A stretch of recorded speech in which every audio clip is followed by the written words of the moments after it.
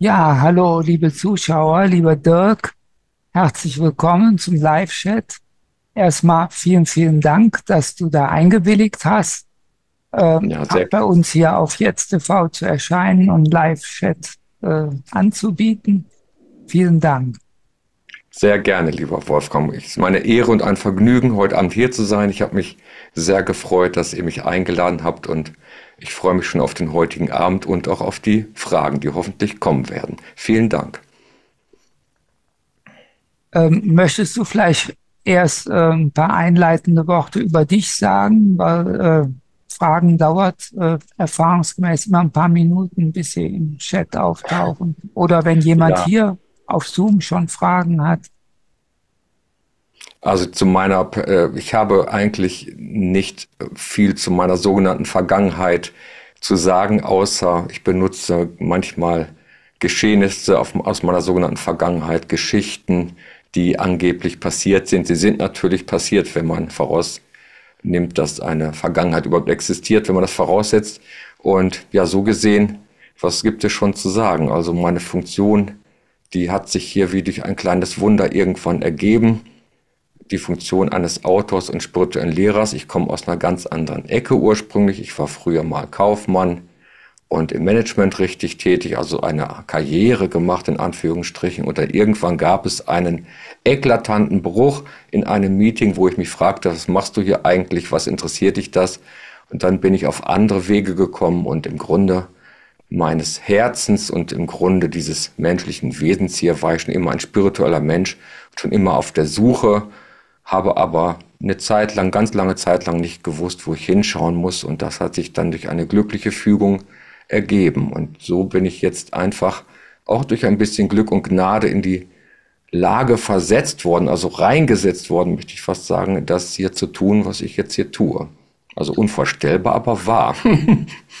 Viel mehr gibt es nicht zu sagen. Ich denke, der Rest ergibt sich dann vielleicht im Laufe des Abends dynamisch. Was verstehst du unter einer spirituellen Ausrichtung? Eine spirituelle Ausrichtung, ähm, als ich, also ein spiritueller Mensch zu sein, war, wenn ich das mal so auslegen darf, ich hatte immer schon das Gefühl, auch als ich ein kleiner Junge war, schon, dass es etwas Größeres gibt als ich. Dabei konnte ich natürlich noch nicht verbal unterscheiden, dass es ein Ich-Apparat gibt und das Sein und solche Begrifflichkeiten, die waren mir noch vollkommen fremd, aber es war schon eine Art Lebensgefühl, ein Anwesenheitsgefühl, das irgendetwas Größeres entweder mich regiert oder da ist, also irgendwas Heiliges auch, da war immer schon auch eine Art liebevolle Essenz waren, etwas, was ich mir auch nicht erklären konnte, was mir aber auch schon Zeit meines Lebens von klein auf bis in die Jugend, bis in die Twentzeit einen gewissen Halt gegeben hat. Das würde ich dann eine spirituelle, äh, einen spirituellen Weg nennen oder eine spirituelle äh, Entwicklung oder so. Ich weiß nicht genau, was war deine Frage nochmal? Also was, ja, was du unter einer spirituellen Ausrichtung verstehst. Also Ausrichtung im Grunde ist das ja ähm, eine spirituelle Ausrichtung. Da muss man eigentlich schon auch ziemlich vorsichtig sein mit der Wortwahl, denn äh, es ist entweder alles spirituell oder nicht spirituell. Das ist immer ein bisschen schwierig, mit diesen Begrifflichkeiten umzugehen. Wir brauchen natürlich welche, damit wir uns hier verständigen können, vollkommen klar. Jeder Mensch ist spirituell in dem Sinne, weil jeder Mensch natürlich auch einen geistigen Anteil hat, ein geistiges Wesen ist und dann noch, noch, wenn wir jetzt schon in Tiefe gehen wollen, jeder Mensch ist im Grunde der Teil des einen göttlichen, Teil des einen Seins, wie alle eine Welle auf dem Ozean. Somit ist also alles geistiger Natur auch, also spirituell auch. Und da kann man sich ausrichten, wie man will. Es geht nur darum, ob das erkannt ist, dass man auch einen geistigen Anteil hat, der unsterblich ist oder nicht. Und so würde ich dann sagen, wenn sich der Geist hier lokalisiert, vielleicht darauf mehr fokussiert und sich fragt, was bin ich denn eigentlich wirklich? Bin ich nur der sterbliche, vergängliche Dirk?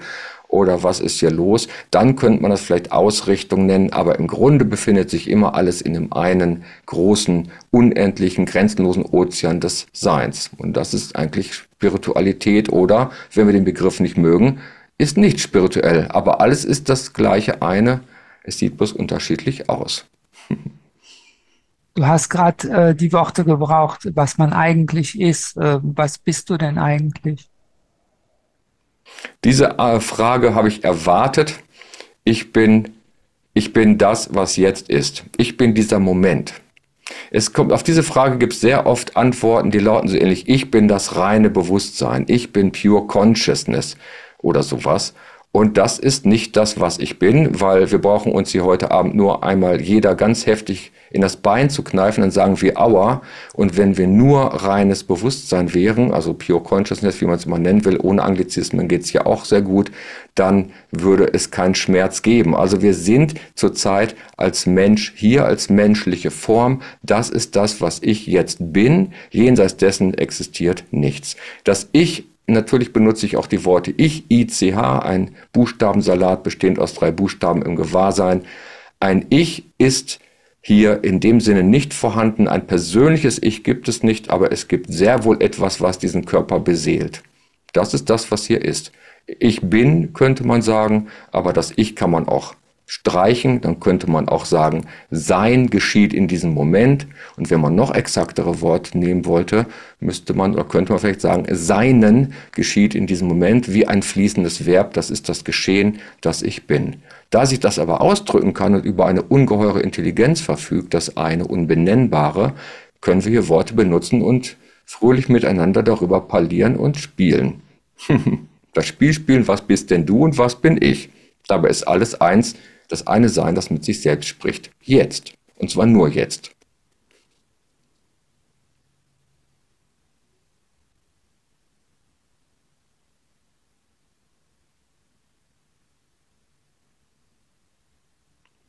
Und da waren sie alle stumm.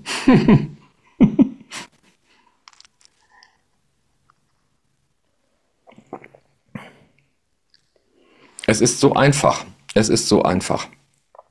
Hier geht es, und das kam jetzt schon richtig aus dem Herzen, aus dem Bauch raus, es ist so einfach, denn es ist einfach. Wir brauchen manchmal mathematische Numerik, wir sagen, dann ist das das eine Sein. Und dann könnte man ja demzufolge auch denken, dann gibt es ja vielleicht auch eine Zweiteilung, die Dualität oder die Polarität. Aber selbst die Zahl 1 ist noch nicht mal auf das anzuwenden, was, was hier ist, also was gerade in diesem Moment läuft. Es geht ohne Ziffern auch. Es ist wie ein Daseinsgefühl, durchtränkt von, ja, einer Art Liebe, Lebensfreude. Das ist wie eine vibrierende Frequenz, das ist das, was ich bin und ich werde auch weiter heute Abend ich sagen, weil sonst eine vernünftige Kommunikation nicht möglich wäre, aber in dem ständigen Gewahrsein, dass hier als Person niemand drinsteckt, aber sehr wohl das eine liebende Sein, das auch hier als Dirk sitzt und auch als Wolfram und als Wantje und Anita und wie sie alle da sind, herzlich willkommen und auch als Katja sich zeigt. Und ähm, im Grunde ist es das schon. Und wir können auch vielleicht heute im Laufe des Abends noch auf etwas tiefere Ebene der Erkenntnis gehen. Das würde ich aber zu Anfang nicht unbedingt raten, möglicherweise, weil es kann sein, dass wir dann ein, zwei Zuschauerinnen schon ähm, verstandesmäßig verlieren irgendwie. es muss nicht sein, aber es könnte ja passieren. Also okay. Das, was jetzt ist, ist das Einzige, was ist. Und das ist wunderschön, auch wenn es anders im Außen erscheint, sehr oft, gerade zur Zeit. Also ist die Ich-Identifikation mit dir wegge bei dir weggefallen? Ja, äh, das ist eine wunderbare Frage, die auch genau korrekt ist. Darüber freue ich mich. Ich bestehe sehr auf exakte Wortwahl, denn es ist so schon kaum auszudrücken, von was hier gesprochen wird. Und du hast richtigerweise gefragt, ähm, die Identifikation mit dem Ich hat sich aufgelöst. Das heißt aber nicht, dass hier nicht Ich-Gedanken noch auftauchen oder eine ichhafte eine Ichhaftigkeit in Gedanken- und Emotionsform da ist. Das ist aber nur das, was im Gewahrseinsfeld auftaucht. Die Identifikation mit diesem Gedanken- und Emotionsknoll, die hat sich aufgelöst. Ist ja so, das wisst ihr alle schon hinlänglich bekannt. Hier tauchen 60 bis 80.000 Gedanken pro Tag, also hier nicht mehr, aber im Normalfall sehr viele tausende Gedanken pro Tag auf. Viele davon sind sehr negativ und sich wiederholt. Nur ein kleiner Prozentsatz sind positiv oder konstruktiv und diese Gedanken und Gedankenmuster, gesamte ganzen Gedankenketten wären das ja auch meist raus, die erzeugen dann eine gewisse Emotionslage die Emotionen zusammen machen das ganze Geschehen oder das, was da erzählt wird im Gewahrsein, noch viel glaubhafter. Nach dem Motto, oh, ich fühle das ja richtig, das muss stimmen, weil ich fühle es ja auch. Und dieses Knäuel ergibt ja diesen ich nenne das immer den Ich-Apparat oder den Ego-Apparat. Und das Sein, unvorstellbar aber wahr, das Göttliche, Gott, das Sein, wie man es nennt, das Bewusstsein, fällt auf seine eigene Erfindung herein. Das ist aber Absicht. Also es verwechselt sich absichtlich für eine, hier, für eine Lebensspanne eines Menschen, vielleicht 50, 60, 70, 80 Jahre lang, für ein etwas kleineres, was auch immer. Und das Spiel lautet, hier und da, nicht überall, erkenne, was du wirklich bist. Die Identifikation ist hier vollkommen zerbrochen, aber trotzdem sage ich noch, ich gehe einkaufen, ich mag das nicht oder das, das möchte ich gerne tun. Das ist aber so ein Tun als ob. Da gibt es noch die, die Wörtchen, finde ich sehr wichtig. Hier wird so getan, als ob ich eine Person Dirk Hessel sei, die irgendwann geboren ist in Bad Oeynhausen vor so und so vielen Jahren und damit auch hier vernünftig weiter mitgespielt werden kann und gesprochen werden kann und dass sich alles äh, also ganz menschlich abspielt, vergesse ich, ich sage es absichtlich jetzt hier, auch die Wörtchen als ob. Also ich vergesse auch, dass hier nur ein Spiel läuft. Aber es ist wie ein innerer Frieden, wie ein Gewahrsam im Hintergrund immer vorhanden. Hier kriege ich eine seltsame Meldung, dass mein Gerät abgeschaltet wird in fünf Minuten. Habt ihr das auch? Oder? eine Standby-Funktion. Ich kann es nicht anklicken. Das muss irgendwie von Zoom kommen, von euch irgendwo. Weil jetzt ist weg. ja, die Identifikation mit dem Ich ist zerbrochen. Manchmal fällt das Sein natürlich auch noch auf extrem heftige Gedankenmuster rein. Das geht aber relativ schnell. Also wenn wir jetzt mal die Uhrzeit nehmen, relativ schnell wieder weg und es wird sehr schnell wieder durchschaut, dass es auch nur wieder ein Gedankenmuster war, das um Aufmerksamkeit heischt. Oder ein Emotionsmuster. Das passiert häufiger natürlich, wenn wir in Anführungsstrichen dramatische Lebenssituationen erleben. Todesfälle in der Familie. In letzter Zeit war das hier öfter. Da hat sich das so ein bisschen geknubbelt, dass Menschen meinten, sie müssten schon jetzt ähm, hier die Erde verlassen, beziehungsweise das Sein aus den Körpern. Und da gibt es natürlich dann auch innere Ablenkungen, aber selbst da hält dieses Fundament, die Seinserkenntnis absolut stand und lässt hier diesen Dirk-Typen nicht in ein Drama versinken. Also von daher kann man schon sagen, dass das relativ stabil hier alles vorhanden ist. Und was verstehst du unter Sein?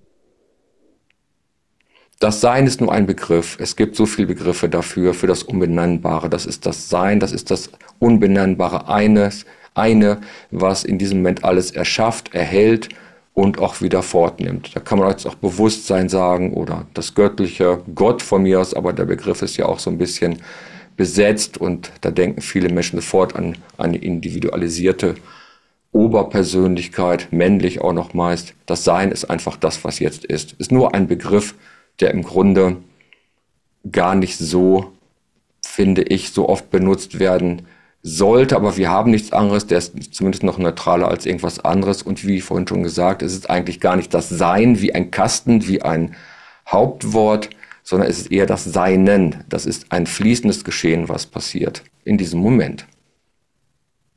Hat das irgendeine Substanz?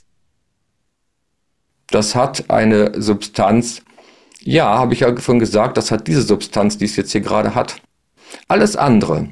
Zu denken, wenn ich sterbe, ich gehe jetzt mal so ein bisschen, also ich hoffe, ich beantworte deine Frage da trotzdem mit, wenn gedacht wird, ähm, ich begebe mich auf einen spirituellen Weg, um von dem Menschsein zu fliehen. Das machen, glaube ich, sehr viele Menschen. Die wollen mit ihren Herausforderungen, mit dem Leid nichts mehr zu tun haben, finden dann den spirituellen Weg und gehen dann dorthin, also begeben sich dann. Dann kommen diese ganzen Begrifflichkeiten, du bist nur das reine Sein, du bist was auch immer, du bist unsterblich in deiner Essenz. Das stimmt auch alles, aber was nicht erkannt ist oftmals, ist, dass es nur diesen Moment gibt, weil Zeit nicht existiert. Jetzt bin ich doch schon am Ende meines meines Redens. Das macht nichts. Das reißt einem alle Konzepte weg. Das wird aber oft geflissentlich übersehen oder es wird nicht gehört oder es wird einfach nicht begriffen, weil es auch nicht zu verstehen ist, weil ja alles so wirkt, als wenn es einen Zeitstrahl hier gäbe. Es sieht wirklich absolut frappierend so aus, als wenn was passiert. Ich habe mich hier hingesetzt vor einer Viertelstunde oder wann und ihr auch und ist ja was geschehen. Und warum soll das nicht existent sein? Das kann man mit dem Verstand nicht erfassen. Und das ist aber das, was tatsächlich passiert. Die Essenz des Seins, das, die, die, was du gerade fragst, das ist genau das, was jetzt ist. Wo ist das reine Sein jetzt in diesem Moment? Frage ich dich jetzt mal zurück oder euch alle. Wo ist das reine Sein jetzt? Wo? Wenn du mich fragst, also Sein ist ein Gefühl von, von Anwesenheit, von Dasein. Ein, ein ja. leeres, also ein Gefühl, äh, was ähm, ein reines Gefühl, einfach nur sein. Ja, das gibt es, das stimmt, das ist, äh, das hätte ich jetzt auch noch irgendwann dazu gefügt, das ist das Gefühl, also ich bin, ich bin, also es ist ein Gefühl von lebendiger, ja, lebendiger Anwesenheit, eine Präsenz, die auch noch stärker hervorscheint oder stärker spürbar ist oder stärker erfahrbar ist, wenn wir vielleicht in einer tiefen Meditation sind und Körpergrenzen fallen, Gedankenmuster versiegen, Emotionslage still ist. Also wenn es still ist, komplett still oder relativ still und der Körper auch keine Rolle mehr spielt, dann kann man sagen sowas wie so, ah, das ist das Sein, einfach nur das Sein. Ich weiß genau, wovon du sprichst. Aber das ist nur ein im Grunde durch Kontemplation oder durch eine innere Öffnung hervorgerufener Zustand, der nicht dauerhaft so ständig nur als das Gefühl da ist, weil wir sonst als Menschen nicht funktionsfähig wären. Und das bitte ich immer auch zu berücksichtigen. Es gibt, es gibt, das ist wie die Heldenreise. Es gibt die, den, den Wake-up-Call und dann gibt es den Weg vom, vielleicht vom nur Menschseinsgefühl. Ich bin ein kleiner Mensch. Oh, was wird mir passieren? Ich habe Angst vorm Sterben. Ich habe Angst vorm Leben. Dann treffen wir auf die Spiritualität und dann auf einmal sind wir das reine Sein. Oder dann bleiben wir an dieser Stelle stehen. Das ist dann so die Non-Dualitätsmenschen ähm, machen das, glaube ich, relativ oft. Die sagen einfach dann nur noch, hier ist keiner mehr drin. Also das Ego, was das dann hört, ist geschockt. Also die Zuhörer sind geschockt. Was wollte ich gerade sagen? Ja, genau. Also man, man hört diese, diese Sa äh, Aussage, da ist keiner drin, da gibt's keinen. Und das Ego ist, also wenn man das hört, ich habe das zum ersten Mal auch von irgendwem gehört, das war ein Schocker. Und äh, aber wer ist da geschockt? Wer hat diese Reaktion? Was ist die Reaktion? Das kommt durch den Ich-Apparat, der natürlich nicht aufgelöst oder vernichtet werden will. Da ist niemand drin. Okay. Und dann kann man über diese Klippe aber auch noch springen. Dann erkennen, erkennen wir, dass da keine Person drin ist und dann bleiben viele Menschen aber an der Stelle kleben und sagen, da ist keiner drin und dann brauche ich auch nichts mehr zu tun. Ich kann ja nichts tun. Das ist einfach das Sein. Und das ist nicht der komplette Weg. Dann stehen wir, wenn wir uns eine Uhr vorstellen, dann stehen wir ungefähr bei 10 vor 12, aber nicht wieder, wir sind also in unserem Dörfchen losgegangen, das ist wie die Heldenreise, dann kommt irgendwie die Begegnung mit der Tiefe, der Untiefe, mit dem, keine Ahnung, mit der Spiritualität, vielleicht der Erkenntnis. Und dann bleiben viele Menschen dort um 10 vor 12 stehen, aber wir müssen wieder in das Dörfchen zurückgehen da, bloß mit einem inneren Gewinn. Was bedeutet das? Wir sind wieder ganz gewöhnlicher Mensch wie vorher. Das ist also genau das, was wir auch tun sollen und wollen. Bloß mit dem Schatz, den wir dann gehoben haben auf den spirituellen Weg und mit dem inneren Gewinn können wir halt in der Welt besser wirken. Ich sage oft, nach Selbstverwirklichung kommt Weltverwirklichung. Wir sind also nicht dazu berufen, dann wenn wir die wahre Natur, die unsterbliche Essenz erkannt haben, auf dem Sofa sitzen zu bleiben mit verschränkten Armen und zu sagen, ist ja eh keiner drin, ich kann ja eh nichts tun, auch dann mal gucken, was so geschieht. Das hat mit einem spirituellen, ich benutze den Begriff jetzt absichtlich, mit einem weisen menschlichen Leben nur sehr wenig zu tun, weil da eine Erkenntnis noch fehlt, eine Resterkenntnis. Ja, das ist mein Lieblingsthema übrigens. Ja, okay.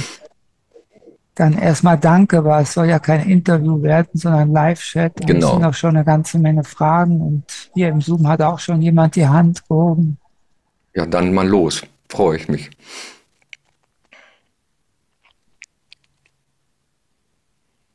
Also wer verteilt denn? Ihr, ihr verteilt das dann an mich weiter, nehme ich an, ne? Für die 20. Florian, wenn du, Florian, wenn du möchtest, dann kannst du gerne sprechen. Ah, vielen Dank. Hallo Dirk, ähm, genau, ich hallo. bin Florian. Ähm, hallo. Ähm, genau, ich wollte mal fragen, ähm, ich bin ja in der Meditation kenne ich die Zustände, ich kenne auch Peak-Zustände und immer wieder ähm, ja, habe ich, ja, habe ich schon die Erfahrung gemacht, glaube ich, von dem, von den Dingen, die du sprichst, von denen mhm. du sprichst. Und ähm, ich habe das Gefühl, nach, nach bestimmten Erfahrungen ähm, kam mein Verstand mit doppelter Kraft zurück, teilweise. Mhm. Ja. Ähm, mhm. Ich, ähm, also ich habe also die, die, die Frage, ähm, deine Empfehlung, wie man da dauerhaft drin bleiben kann. Ich, ich, ähm, ich weiß wahrscheinlich schon einige deiner Antworten, weil ich wirklich also auch viel lese, auch deine Podcasts höre. Ähm, und trotzdem, ähm, ja, bin ich dabei, meine Gedanken zu beobachten, so wie du es auch empfiehlst. Ähm, aber wenn ich dann bei der Arbeit bin oder in Begegnung mit anderen Menschen oder so, dann bin ich halt komplett bei der Sache, zum Beispiel bei der Arbeit oder bei der Begegnung mit Menschen und ähm, der, ja, spirituelle Wachte, wie du sagen, ist, man ist immer mit einem Bein, aber trotzdem ähm, in, äh, im reinen Bewusstsein oder wie auch immer, wie du, ähm, im Leben.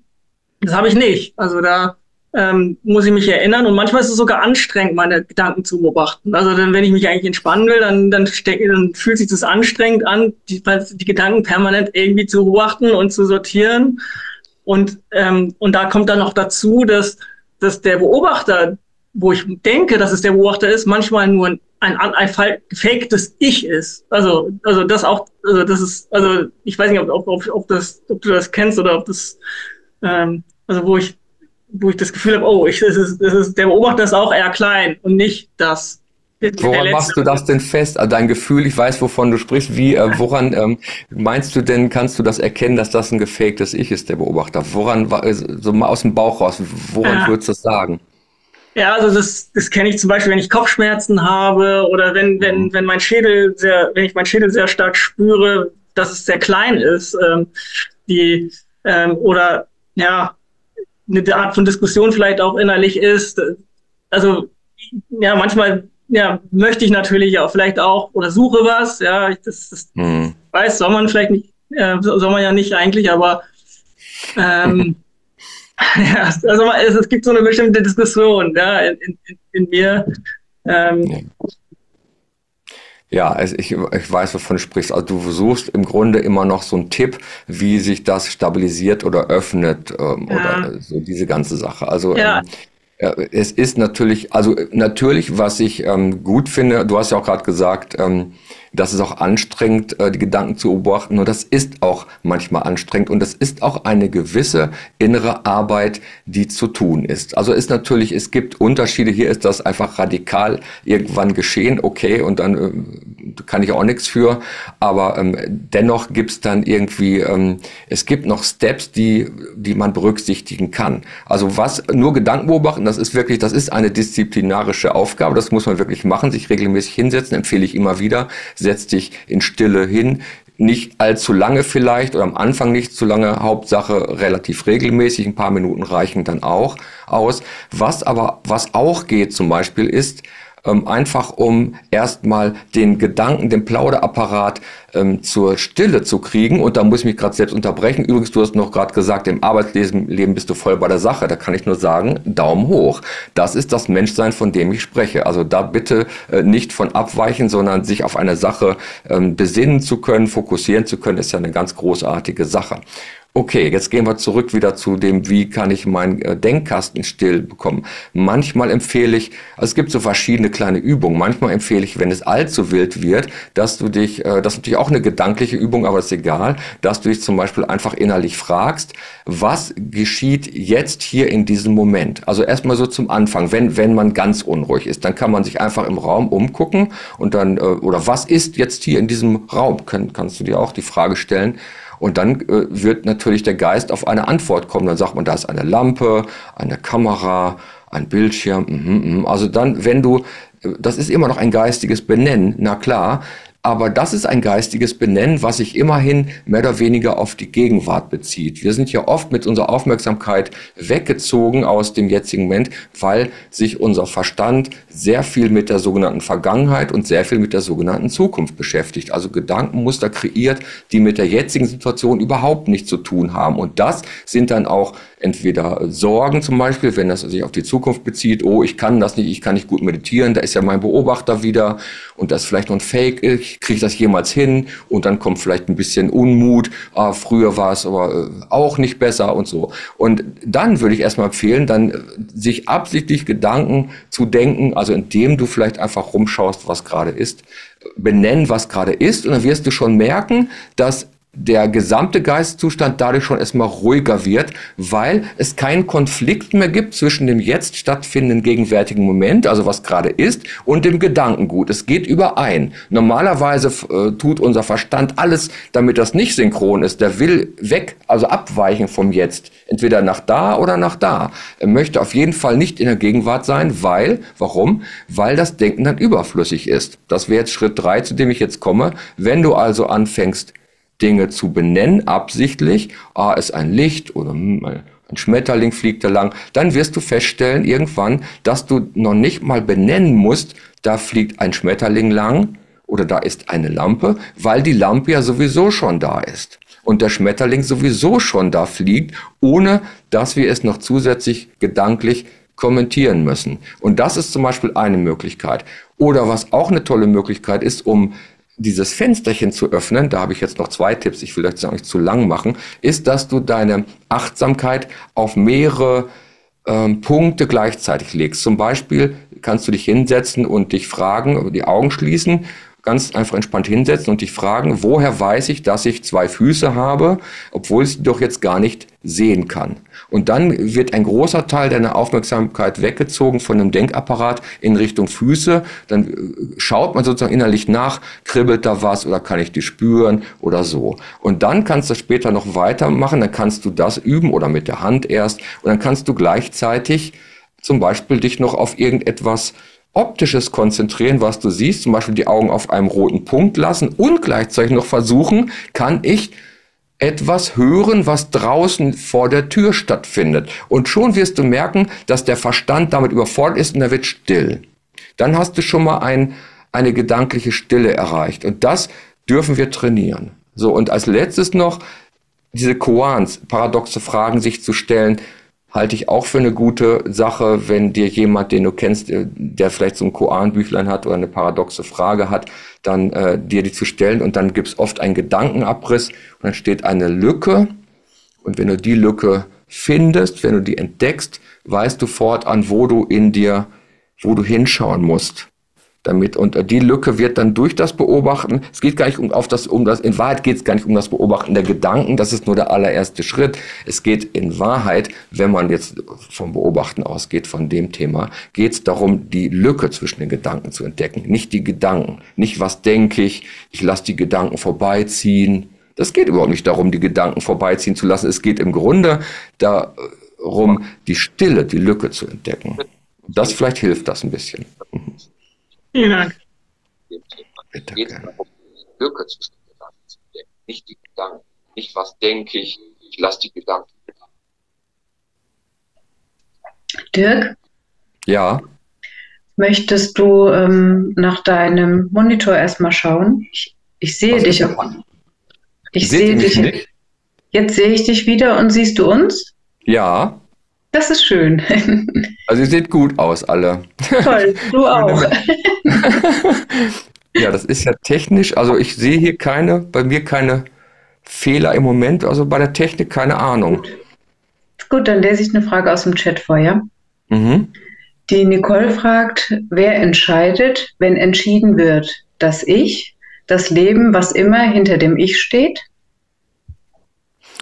Ja, das, das schnell zu beantworten. Das Sein, also ja, entscheidet alles, kann man sagen. Das Ich ist im Grunde ein illusionärer Apparat. Alles wird vom Sein erschaffen, auch dieser Ich-Apparat, auch das scheinbare Ich, auch das Ego, das ja ein Gegenspieler zu sein scheint. Alles macht, wird vom Sein gemacht kreiert und erhalten. Es ist also es gibt nichts, was nicht von der Seinsenergie durchdrungen ist, sage ich mal so. Und deswegen gibt es überhaupt diesen Mittelsmann überhaupt nicht. Es gibt keinen freien Willen einer Persönlichkeit, weil es keine Persönlichkeit gibt. Hier ist niemand drin. Hier aber aufgepasst, dort natürlich auch nicht. Aber hier, da ist kein, hier ist keine Person drin, keine individuelle getrennte Person vom Ganzen Das gibt's nicht. Aber das eine Sein spricht hier und wirkt hier. Im Grunde ist hier, was nur vielleicht ein kleiner Unterschied ist, hier ist nur die Position, die Wahrnehmungsposition hat sich sozusagen verändert ich, also das, was ich bin, das eine Ich bin, das du auch bist, sitzt sozusagen im Sessel des Seins und spricht aus der Seinsperspektive.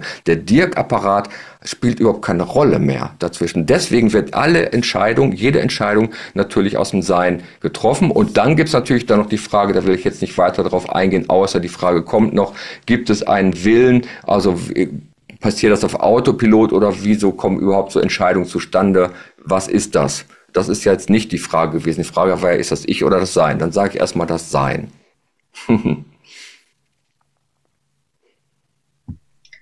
Jeanette Nicole fragt, Hallo Dirk, hattest du einen spirituellen Lehrer? Das, ja, die, ich hatte eine spirituelle Lehrerin für eine sehr kurze Zeit, die ist durch ein ich habe die Geschichte schon hier und da mal erzählt, ähm, durch ein Gebet tatsächlich, ähm, weil, ich die spirituelle Suche loswerden wollte. Ich war geistig dermaßen erschöpft und körperlich, dass ich einfach keine Lust mehr hatte. Da war mir auch dann schon alles egal. Da habe ich gesagt, ich möchte diese Suche loswerden, aus der schon eine Sucht geworden war, tausende von Büchern gelesen und dann habe ich einfach eine Art Gebet mal gesprochen, gesagt, bitte wer auch immer das hört, schickt mir einen Menschen Fleisch und Blut, der mir dabei behilflich ist, diese Suche zu beenden. Das ist das Wichtigste. Ich wollte die also nicht erfolgreich beenden, sondern mit Erleuchtung oder Erwachen, sondern ich wollte es einfach loswerden. Und dann tatsächlich binnen kurzer Zeit tauchte die auf und die war auch nach kurzer Zeit wieder weg und die hat mir drei, vier entscheidende Dinge gesagt, ich möchte fast sagen, an den Kopf geworfen und das hat dann wohl gereicht. genau. Die war nur kurz da und dann war sie wieder weg.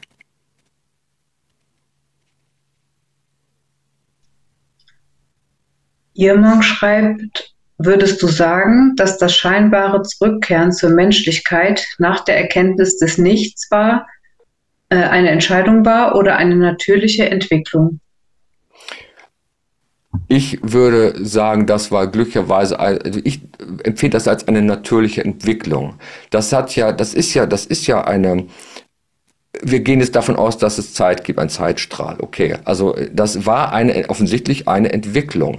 Da war ja nicht noch ein, ein Ich hier, ein persönliches Ich, was gesagt hat, ich möchte wieder ganz Mensch sein, sondern es gab ein, das benutze ich jetzt mal Passivsprache, ein Erkennen, dass das nur Rumsitzen in einer transzendenten Stimmung nicht das Ich, das nicht das ist, äh, wozu dieser menschliche Körper wohl erschaffen wurde. Ich sage es mal etwas seltsam. Also nachdem das geschah hier, ich weiß nicht genau, wie lange es war, monatelang äh, war die Welt äh, wie ich sie sah, sehr transparent, alles sehr durchscheinend, funkelnd. Das funkelt immer noch, aber es war ganz anders und im Grunde war ich nicht mehr vollkommen gesellschaftsfähig. Also ich bin noch einkaufen gegangen und diese ganzen Geschichten, aber ähm, das war nicht ein Zustand, wo ich sagen würde, das ist das, was das Ziel einer jeden spirituellen Suche ist. So, das ist, gilt es zu erreichen, nur noch so in Bliss, äh, endless Bliss zu sitzen und das ist es dann. Also ähm, das war überhaupt nicht schön. Ich hatte auch immer noch dann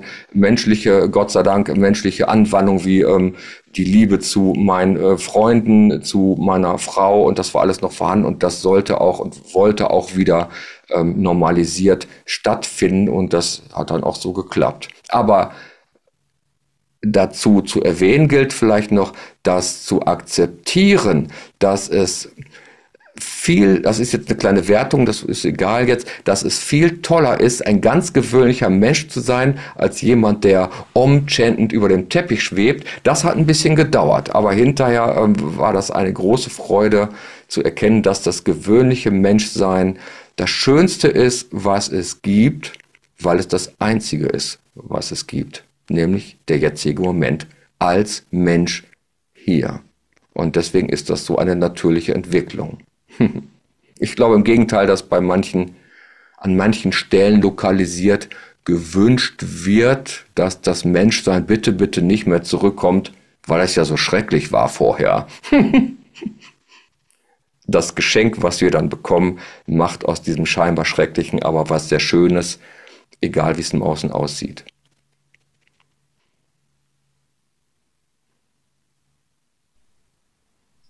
Sandra schreibt, guten Abend.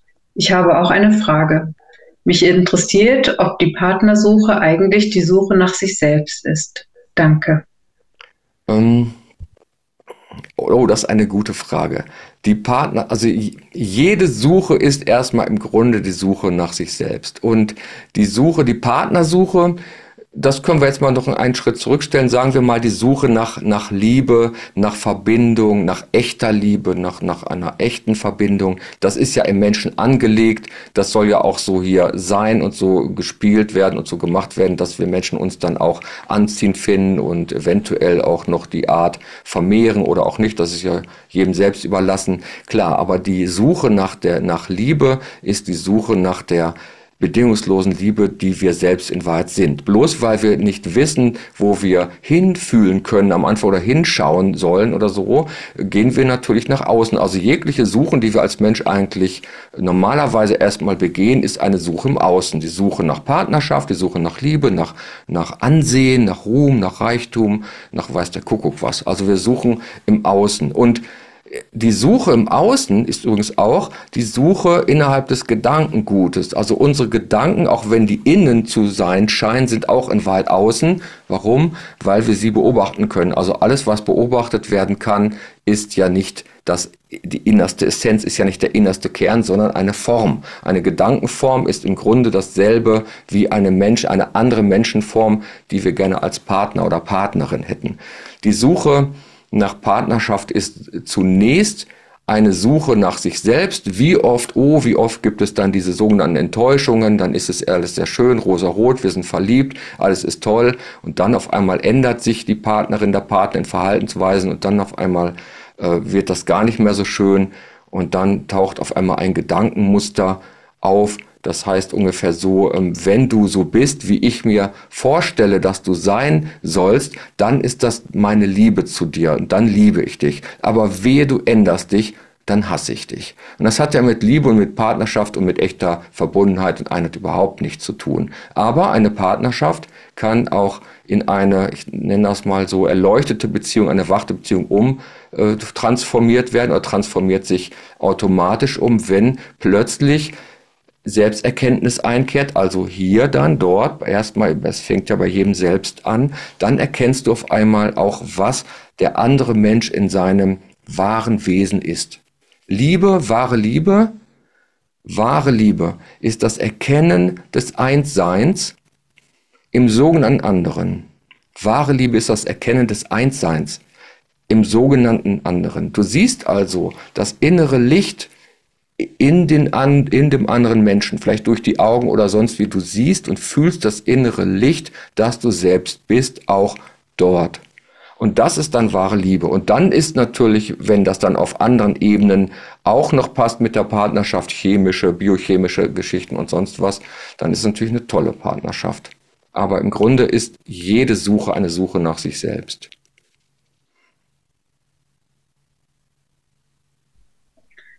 Maria fragt, lieber Dirk, hast du Angst vor Krankheit? Danke. Nein, nein, habe ich nicht. Angst vor Krankheit, das ist ein riesiges Thema. Sehr oft bekomme ich Zuschriften und auch Kommentare unter Videos und es gibt sehr viele Menschen, die haben Erkrankungen und chronische Schmerzen, die wirklich unerträglich sind und das ist mir vollkommen klar, was es gibt. Und ähm, ich habe also ganz, ganz menschlich keine Lust auf Schmerzen. Wer hat schon Lust auf Schmerzen? Schmerzen sind unangenehm. Ich weiß aber auch, was Schmerzen sind. Das ist, hatte ich auch schon mal. Aber Angst vor Krankheiten habe ich nicht. Denn es ist so, wir Menschen sind auch eigenartige Wesen. Ich habe mal eine kleine Übung mitgemacht. Da hat mich mal jemand gefragt, so ganz aus dem Bauch raus, als war dann auch so, eine, so ein Lehrer, der hat mich gefragt, sag mal lieber dir ganz spontan aus dem Bauch raus, ohne zu überlegen, also in Sekundenschnelle, das kann ich ja euch jetzt auch mal fragen, ihr müsst es aber nicht laut sagen, sondern da taucht vielleicht dann eine Zahl bei dir im Gewahrsein auf, ohne den inneren Zensor. Wie alt wirst du wohl? So.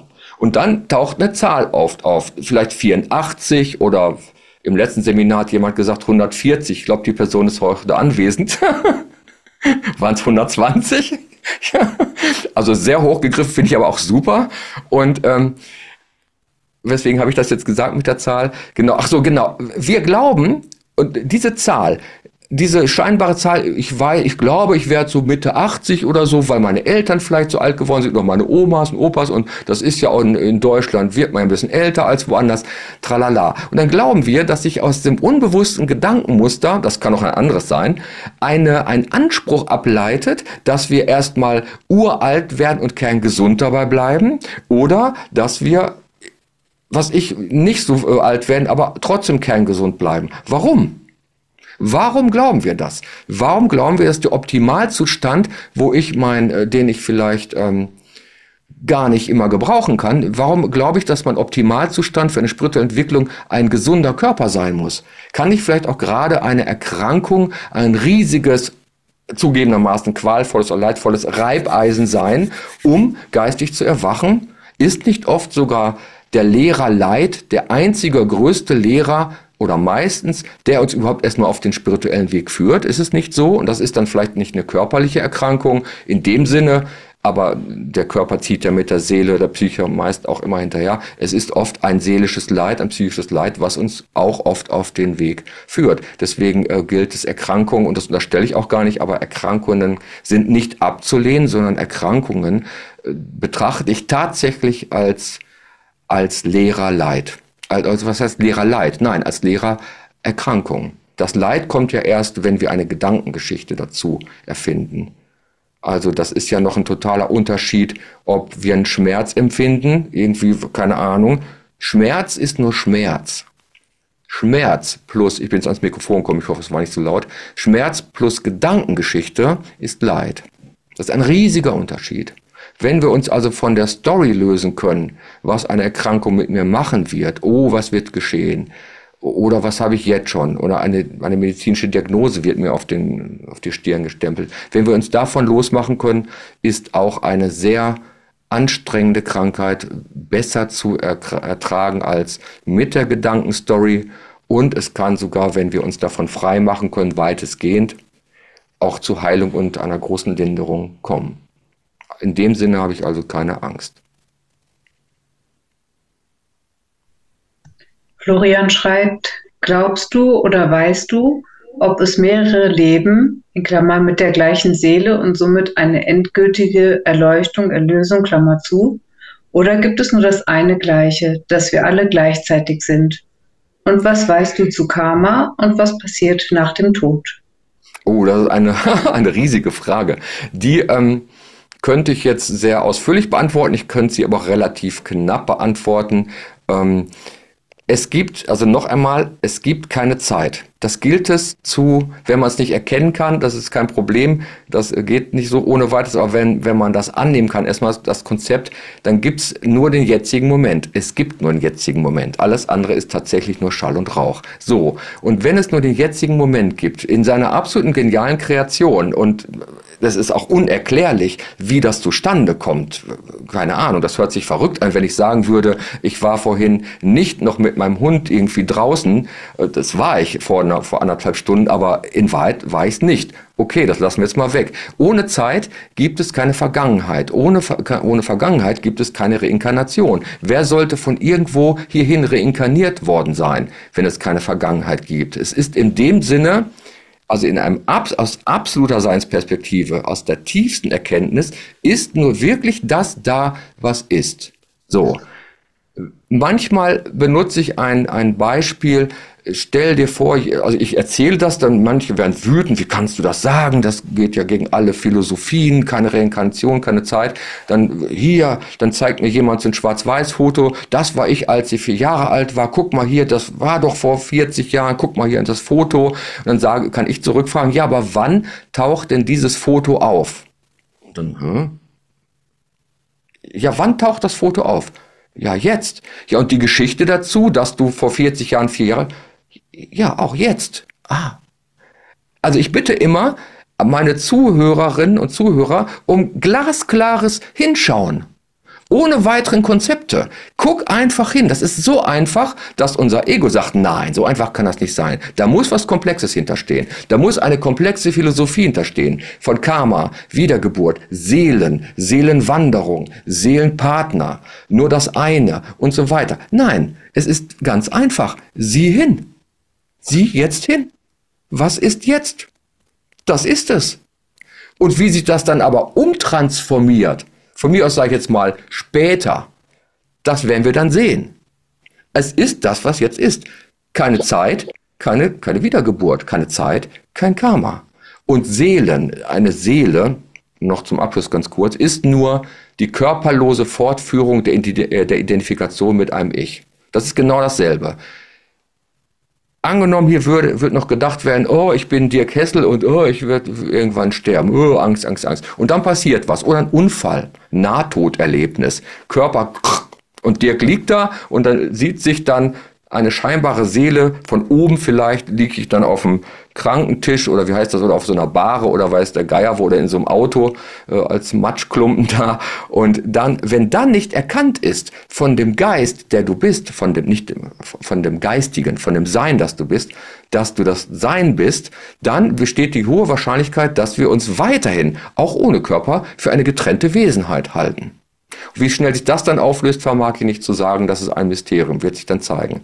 Wenn aber schon der menschliche Körper jetzt genutzt wird, worum ich dich sehr bitte, das Jetzt zu nutzen, ist was Wertvolles als das Jetzt als Mensch gibt es gar nicht, dann ist es extrem wahrscheinlich, weil das Sein nämlich nie etwas vergisst, dass auch nach dem Zerfall des Körpers immer noch weiter erinnert wird, dass ich das eine Sein bin und nicht noch eine in ein Individuum. Und dann braucht nicht mehr dieses Seelenspiel weiter gespielt zu werden, außer es ist gewünscht.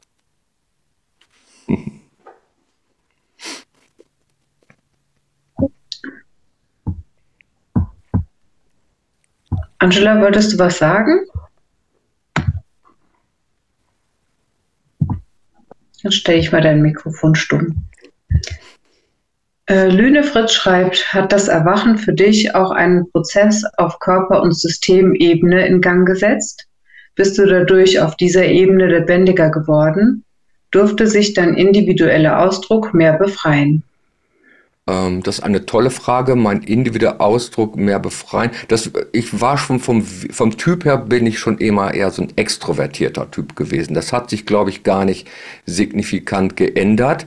Was sich allerdings befreit hat, und dadurch, da hast du natürlich vollkommen recht, das hat sich dann ähm, befreit, sind natürlich ähm, irgendwelche Denkketten, also wirklich die, die äh, den Dirk hier in Fesseln gehalten haben, was ich noch zu tun habe, was ich erreichen muss, wer ich sein soll in den Augen der Umwelt, der Gesellschaft und diese ganzen Geschichten. Na klar, ich war ja auf so einem ähm, Karriereweg im Grunde sehr erfolgreich früher und dann als dann dieses, ähm, also ich erzähle eine kleine Geschichte nur äh, von meiner Lehrerin, die ich da kurz hatte, die kannte mich eigentlich gar nicht. Ich bin also da aufgetaucht, da auf eine kuriose Weise in ihrem kleinen äh, Räumchen und da war ich damals noch ähm, als Heilpraktiker tätig. Ich hatte eine Heilpraktikerpraxis äh, in Köln und dann äh, guckte sie mich an, ich setzte mich hin und sagte, sehr, also sie guckte mich an und sagte, wie lange willst du eigentlich noch den Heilpraktiker spielen? Und ich war beleidigt, ich war auch geschockt, wie kann die das sagen? Wie lange willst du noch Heilpraktiker spielen? Ohne dass die mich irgendwie kannte. Und ähm, ja, und dann äh, natürlich, vollkommen klar, hat sich dadurch was befreit. Und dann kam ich in den Ausdruck, ob das der Dirk noch, da war keiner mehr da, der dagegen steuern konnte. Dann bin ich nachts aufgestanden irgendwann und dann haben meine, meine Hände, man es glaubt oder nicht, ist es so in einem Laptop, äh, die ersten Zeilen dieses Buches Erkenntnis getippt. Und da, das hat natürlich äh, erstmal zu einer Weitung des Geistes geführt, zu einer Umorientierung im Leben. Viele Sachen sind aber geblieben. Es gab eine Befürchtung, dass relativ viel von meinem Privatleben wegfallen würde. Das ist eigentlich gar nicht geschehen. Körper und Geist, Körpersystem, da ist eine gewisse Heilung ähm, entstanden, das kann man sagen. Es war, ich war nie besonders krank, aber so Spinnenphobien oder Allergien, diese ganzen, ich hatte mit Asthma zu, zu tun, ist alles weg. Das kann man schon sagen. Das ist so ein bisschen der Körper, der, der, der, äh, in Westfalen sagt man schlürt, der schlürt der geistigen Entwicklung oft so ein paar Monate hinterher und je, je mehr wir geistig innerlich ähm, entrümpeln und je mehr sich das sozusagen zusammenfügt wieder, also mehr, je mehr aus dem fragmentierten Geist äh, das, das eine wird, desto mehr hat der Körper auch eine Chance zu heilen. Das ist aber keine Garantie, das ist auch kein Versprechen. Es kommt aber relativ oft vor, dass das so ist. Und das ist auch bei chronischen Erkrankungen, äh, deswegen bin ich da ein riesiger Fan von, ähm, dass wir, selbst wenn wir schwere chronischen, äh, schmerzhafte Erkrankungen haben, trotzdem oder gerade dann uns hinsetzen und nach geistiger Stille suchen, mal so einen Körperscan machen, also Aufmerksamkeit, äh, was machen meine Füße, was macht mein Körper, weil nämlich dann sich ähm, das Gewahrsein das Gewahrsein fängt dann an zu unterscheiden, einfach zwischen Erkrankungen und äh, zwischen diesem emotionalen Spiel, was dann noch sich zugesellt, also der Story. Und das wird auf einmal fällt auseinander. Und wenn wir dann äh, diese Story nicht mehr denken müssen, oh, was passiert mir noch, dann äh, können wir viel besser heilen und auch besser mit den Herausforderungen umgehen.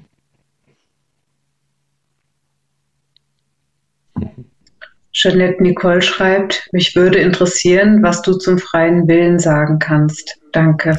Ja, der freie Wille. Also eine freie Wille eines Individuums gibt es nicht, weil es kein, kein eigenständiges Individuum gibt. Dann benutze ich gern das Gleichnis von der Welle und dem Ozean. Wir sind im, das ist nur ein, ein, eine Analogie. Wir sind hier wie, wie ausgeformte Wellen in Menschenform eines, des einen unbenennbaren Ozeans des Seins. Okay, also Wellen eines Ozeans. Das gibt's dann die Dirkwelle und die, die Swantje-Welle, die Anita-Welle, die, äh, was ich, Yvonne-Welle, Gerd-Welle und so weiter. Und vielleicht für 40, 50 bis 80 Jahre und noch älter eine, eine Form. Und der, der Ozean, der erzeugt die Welle und schiebt sie auch hin und her. So, also der macht, es gibt keine, es gibt, weil es auch keine Trennung gibt, das bitte ich auch immer wieder zu berücksichtigen und zu erinnern, also denke da immer, immer, immer, immer dran, Trennung existiert nicht. Und wenn du das hörst und ihn nicht einsacken lässt, dann äh, gibt es eine Hausaufgabe, die lautet jetzt, äh, setz dich mal hin oder schreib mal auf, nachher oder irgendwann, welche Konsequ Konsequenzen hat es im, äh, im körperlichen Bereich, im privaten Bereich, gerade im spirituellen Bereich, wenn Trennung nicht existiert und sie existiert nicht. Wo kann es also in einer Verbundenheit, in dem Ozean, einen von der Verbundenheit herausfallenden einzelnen Willen geben?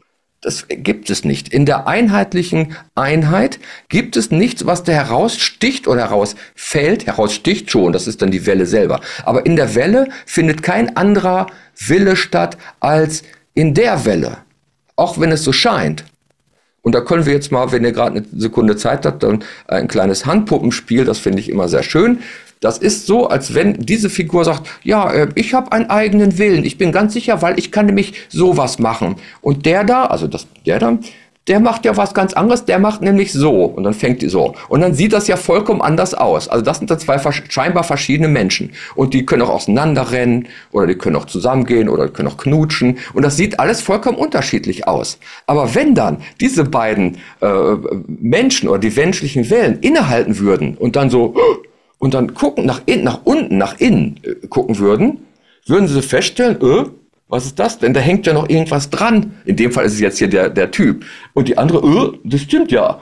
Und dann sehen Sie, man sieht dann, dass es praktisch durcheinander, also das ist diese, angenommen, ich wäre jetzt, ich bin ja das Sein, aber das bist du ja auch. Das Sein ist also genialerweise in der Lage, sowas und sowas gleichzeitig zu machen in der Welt und zwar in billiardenfacher Form. Also gen genialer geht's gar nicht, das kann man gar nicht erfassen eigentlich, wie genial das Spiel ist, was da läuft. Und das muss wirken so, als wenn es getrennt sei, ist aber nicht. Das ist das eine, was alles mit dem einen, und jetzt kommt es, dem einen einzigen Seinswillen steuert.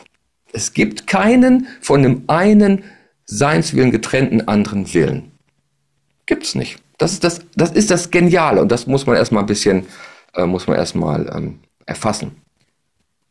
Da denke ich manchmal an das Vaterunser aus der Bibel. Da wird ja gesagt, äh, was ich, Vaterunser im Himmel, so, äh, dein Wille geschehe. Im Grunde ist das Vaterunser falsch übersetzt worden oder nicht, zumindest nicht perfekt übersetzt worden. Das ist eigentlich kein Wunschkonzert, dein Wille geschehe bitte, bitte, sondern es heißt in Wahrheit, dein Wille geschieht schon jetzt. Das ist eine Zustandsbeschreibung.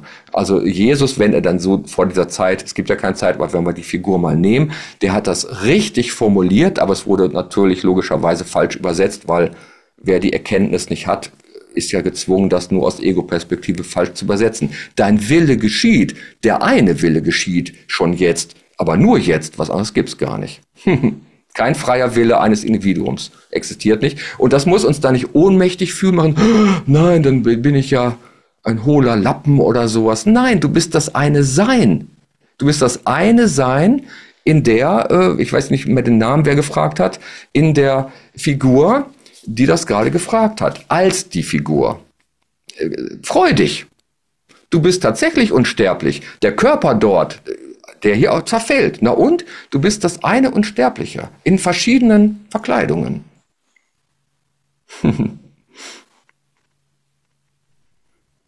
Thomas schreibt, lieber Dirk, was bedeutet es, dass es keine Zeit gibt? Wenn ich zum Beispiel irgendetwas als Kind erlebt habe und mich mhm. jetzt daran erinnere, ist das nur ein Gedanke im Jetzt und nie wirklich passiert? Ja, wenn du die Frage so stellst und nicht die aus der absoluten Perspektive beantworten soll, dann lautet meine Antwort ja, das ist genau so. Das hilft uns aber oft nicht, weil das ein, erstmal ein sehr, eine sehr tiefe Erkenntnis ist, die nicht unmittelbar auf das Körpergefühl wirkt.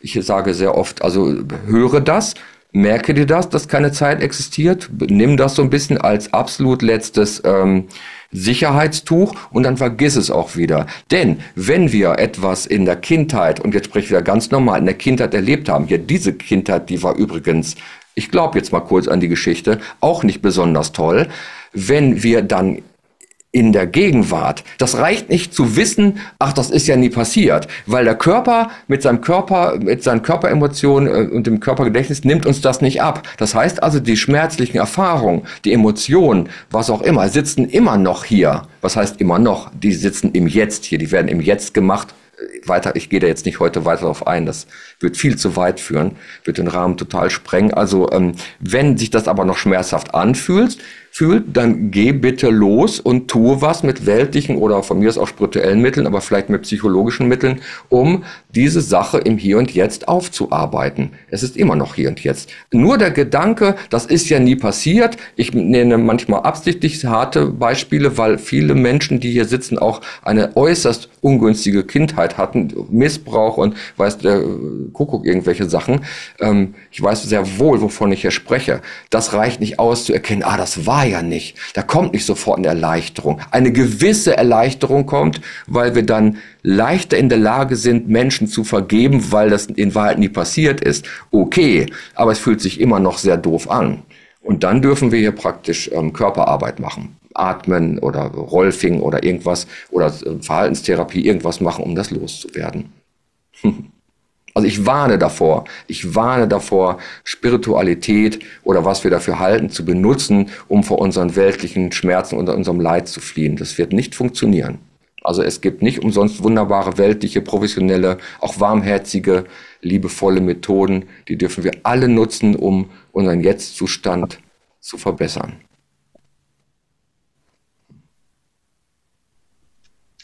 Gerhard schreibt, lieber Dirk, mit welchen Übungen, in Klammern zum Beispiel im Sitzen oder auch im Alltag, kann ich die Ich-Identifikation lockern bzw. letztendlich auflösen? Danke. Das hatte ich ja vorhin schon so ein bisschen, ähm, habe ich ja schon ein paar Beispiele genannt. Also das Gedankenbeobachten ist ähm, das Erste und es ist auch, wenn wir da ins Detail gehen wollen, also vielleicht besuchst du mal ein Seminar von mir, weil da mache ich das sehr strukturiert, äh, zwei, drei Tage lang von A bis Z. Das ist immer so ein bisschen aus dem Kontext gegriffen. Das geht so instantmäßig nicht, aber wurscht. Zum Beispiel ist auch sehr hilfreich ähm, zu erkennen, dass, ähm, dass es unterschiedliche Gedanken gibt. Also es gibt erstmal, wird überhaupt erstmal sehr viel gedacht. Das ist schon hilfreich, wenn du das siehst. Aber noch hilfreicher ist, äh, zu erkennen, dass Gedanken die wir denken und die wir vielleicht nicht toll finden, von einem weiteren Gedanken oft kommentiert werden. Sowas, oh, was habe ich jetzt da gedacht, das war ja nicht gut. Oder ich denke sowas wie, ah, ich habe schon wieder so viel gedacht. Und dieses, ich habe schon wieder viel gedacht, ist ja auch nur ein Gedanke. Bloß, das fällt nicht mehr so auf, weil das Sein, das wir sind, hypnotisiert ist im Grunde von persönlichen Wörtern, von diesen Personalpronomen, ICH, ich, mir, meine, meins, die ganzen Sachen werden für bare Münze genommen. Und dann scheint, dadurch entsteht ein scheinbares Ich im Inneren, was andere Gedanken beobachten kann. Also eine Zweispaltung noch, eine zusätzliche Aufspaltung des Geistes in noch mehr Teile. Ich sehe meine Gedanken. Nein, du bist auch nur ein Gedanke. Ich ist nur ein Gedanke. ICH, das sind drei Buchstaben, Buchstabensalat, der im Gewahrsein auftaucht. Ich liege hier rum, ich sitze, ich spreche. Das ist ein Gedanke, der auftaucht. ICH ist auch nur ein Gedanke. Und wenn du das erkennst, dann bist du schon einen wesentlichen Schritt weiter. Du wirst feststellen, wenn du das übst, dass das deutlich schwerer am Schopf zu packen ist, das ICH, als jede andere Gedanken, die etwas neutraler sind. Aber übe das und äh, erkenne, dass jedes Ich-Geplauder auch nur einfach Gedanken sind, die vorgeben, du zu sein, liebes Sein.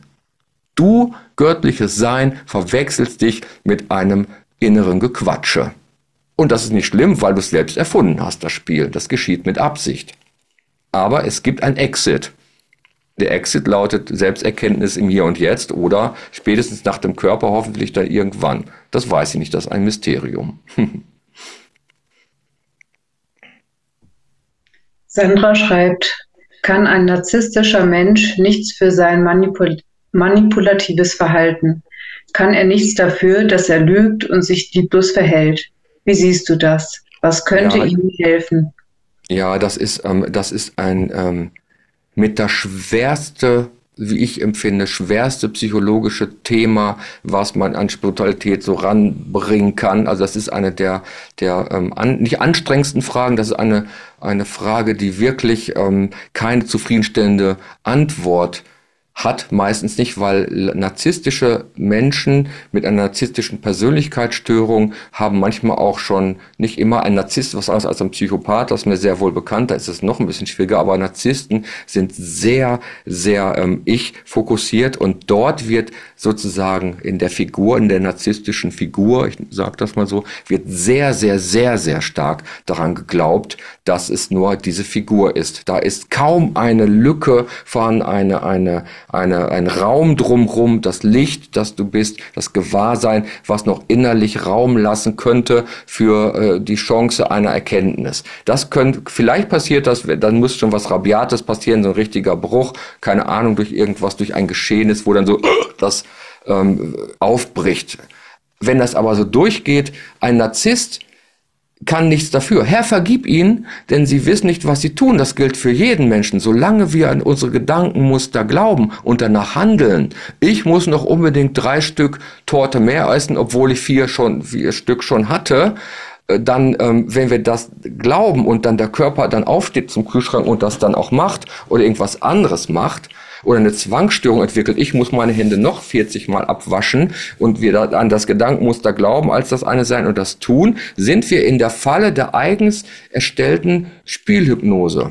Der Mensch kann nichts dafür, der kann nichts dafür und ich würde auch davon abraten, äh, da für diesen Menschen Heilungsmethoden zu suchen als Partner oder als nächste Umgebung. Ganz ehrlich, äh, das sage ich selten, bei solchen Menschen, die sehr stark narzisstisch sind oder psychopathisch veranlagt, ich würde mich fernhalten von denen. Und da kann man nur im Grunde ein kleines Gebet sprechen und viel mehr kann man da nicht tun.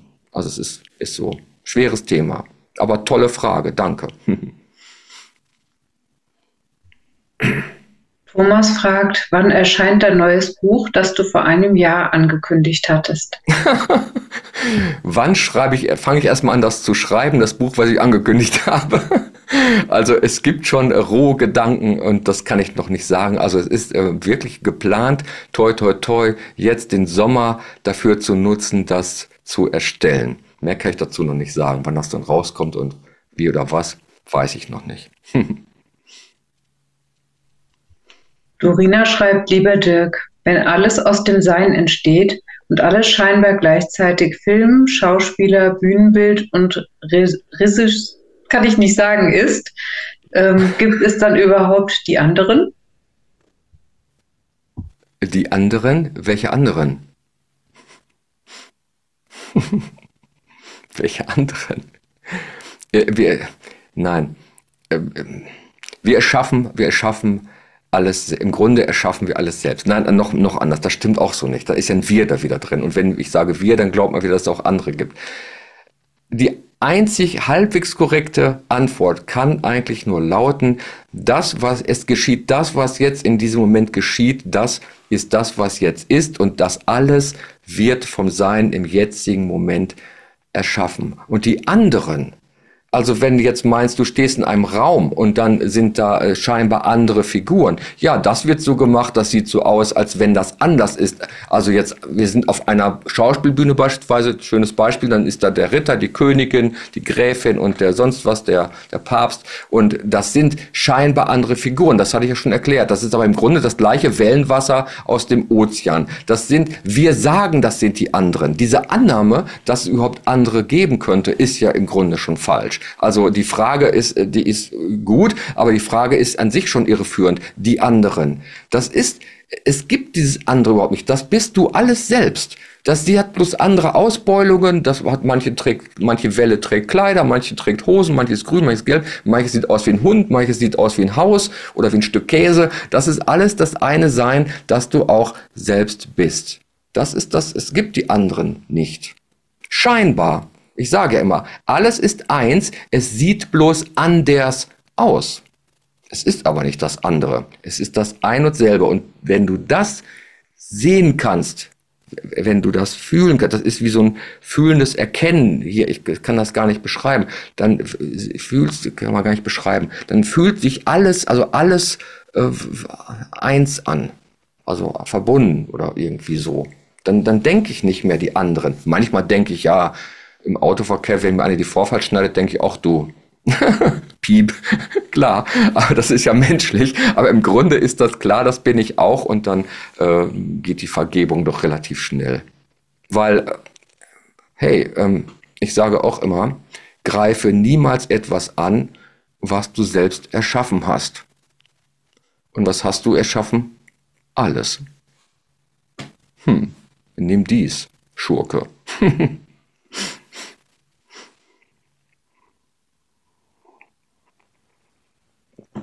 Okay.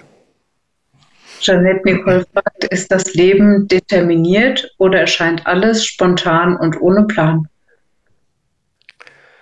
Das ist eine, eine super Frage. Ähm, also, wie es hier gesehen ist, wie es hier gesehen ist, würde ich das versuchen mal so zu beschreiben. Stell dir vor, du hast einen spiegelglatten See vor dir. Also einen spiegelglatten See, so, so, und dann wirfst du einen Stein in diesen See, einen runden, ordentlichen Stein, du wirfst ihn genau in die Mitte des Sees. Und dann können wir uns vorstellen, dass dann anfangen Wellen, so kleine Wellen zu laufen als Ufer, das kann man sich ja vielleicht vorstellen. Das ist klar, das kann man sich vorstellen. Aber wie genau die Wellen laufen werden, das ist nicht vorherbestimmt. Es ist nicht vorherbestimmt. Ich nenne das manchmal, das ist so wie eine dynamisch ablaufende Fügung. Und das ist nicht befriedigend jetzt für den Verstand, das zu hören. Besser kann ich es nicht ausdrücken. Das ist eher so wie eine dynamisch, ein dynamisch ablaufendes Geschehen, wo nicht klar sein es muss auch gar nicht klar sein, was morgen geschieht, vorbestimmt sein, weil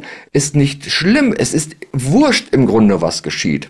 Hört sich merkwürdig an, ist aber so. Warum ist es egal? Weil alles ein Spiel der Liebe ist, auch wenn es anders hier erscheint. Alles, das Sein, das du bist, das Göttliche, die Uressenz, ist eine, hat eine unglaublich liebevolle, liebende Qualität. Da kann ich jetzt auch gar nicht weiter drauf eingehen, weil so viel Taschentücher habe ich jetzt gar nicht hier. also, das ist alles ein liebevolles Geschehen, auch wenn es ganz, ganz anders im Außen ist erscheint. Und weil das so ist, wird es im Grunde keine dauerhaften Schäden geben können, keine dauerhaften Verluste, keine dauerhaften Erkrankungen, dauerhaft wohl, also was zerfällt ja alles hier. Das ist also wurscht. Es muss nicht vorbestimmt sein. Es ist praktisch, als wenn ein Kind, ein göttliches Kind sagt so, yeah, und wir spielen, ich werfe den Stein in den See und dann gucken wir, wo die Wellen hinlaufen und passieren kann sowieso nichts. So, ich würde auch nicht sagen, es ist vorherbestimmt. Ich weiß schon, was morgen passiert, weil morgen gibt es ja nicht, weil es nur den jetzigen Moment gibt. Es gibt keine Zeit.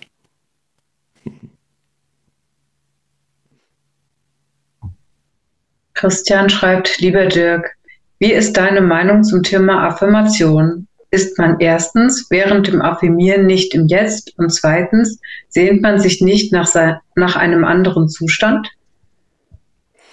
Ja, die, das, die Sehnsucht nach dem anderen Zustand ist ja die Suche des Seins nach sich selbst, wie man das sagen kann. Das ist ja so ein, wenn es irgendwo aufkeimt, äh, das Licht und stärker wird, dann fangen wir oft an, selbst zu suchen nach sich selbst. Und Affirmationen können helfen, aber ähm, da gilt es sehr vorsichtig mit zu sein, denn ähm, es nützt nichts, wenn wir jetzt ins Badezimmer gehen und uns so ein, äh, was ein Post-it auf den Spiegel kleben und sagen, ich bin äh, total sexy, 3,50 Meter groß und bin Multimilliardär und rieche gut und fühle mich toll, aber es entspricht überhaupt nicht dem Ist-Zustand, dann merken wir das unbewusst. Wir sind ja auch, vergiss es nicht, wir sind auch als Mensch hier. Wir haben eine menschliche Psyche, wir haben einen, einen Auffassungsapparat, wir können also, äh, wir haben Emotionen, Gefühlslage und wir wissen, äh, ob wir uns auf Deutsch gesagt verarschen oder nicht mit der Affirmation. Von solchen Affirmationen würde ich Abstand nehmen. Also ich würde nicht äh, etwas affirmieren, was nicht dem Ist-Zustand spricht. Also ich würde nicht ein Wunschkonzert daraus machen.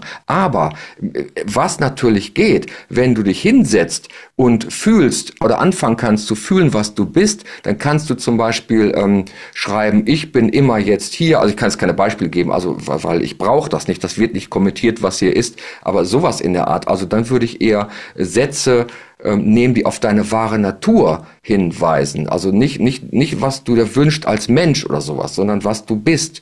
Und das sozusagen bestätigen, dass du da, dadurch die Erinnerung hochkommt an das, was du in Wahrheit bist. Ich bin das eine Sein, äh, meine Essenz ist unzerstörbar, es, ähm, es geschieht, wie es geschieht oder irgendwelche solche Sachen, die offensichtlich sind. Aber das Offensichtliche, das manchmal so wie eine Fliege auf unserer Nase klebt, das sehen wir nicht. Wir schauen drum rum und suchen dann im Außen. Und manchmal sind Affirmationen, nicht immer, aber manchmal sind Affirmationen auch Suchanfragen, ähm, die sich auf ein Außen beziehen, um meinen Status zu verbessern, meine Gesundheit zu verbessern, irgendwas zu ändern. Und das ist, ähm, hat nichts mit, ähm, nichts mit tiefer Spiritualität zu tun, weil das, äh, weil alles, was du in Wahrheit wirklich brauchst, bist du schon jetzt. Es muss nur sozusagen ähm, entdeckt werden. Vielleicht ist es auch hilfreich, ähm, ein Gegenangebot mal zu erhalten. Damit meine ich, wenn du jetzt hier zuhörst, ähm, ist es so, dass du ein Gegengeschenk bekommst oder ein anderes Geschenk, das wir manchmal gar nicht haben, nämlich